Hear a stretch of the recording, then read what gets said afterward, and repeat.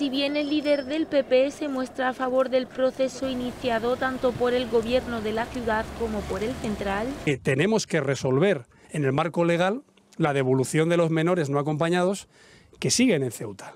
Le exige al Ejecutivo de Sánchez seriedad y políticas de altura. Y por eso yo pido menos hipocresía y más realismo. No puede ser que el gobierno del Aquarius, el gobierno del Open Arms, el gobierno de vamos a quitar las concertinas, el gobierno de vamos a recurrir a Estrasburgo las devoluciones en caliente, esté haciendo lo que está haciendo ahora sin dar cuentas a nadie y dejando otra vez en manos de la justicia que se paralicen estas devoluciones. Respecto a las relaciones con Marruecos y la voluntad de su monarca de recuperar la comunicación con España, Casado le ha recordado a Sánchez que ellos ya apostaron por esta cuestión y que llegan tarde.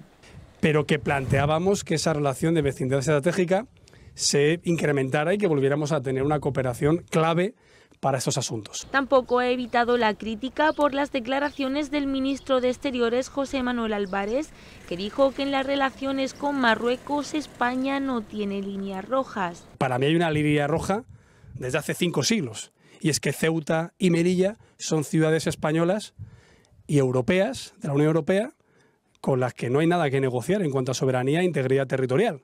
Esa es la línea roja. Ceuta y Melilla es territorio español. No obstante, Casado ha manifestado que en cuestiones de política exterior su formación estará del lado del gobierno siempre que rinda cuentas en el Congreso.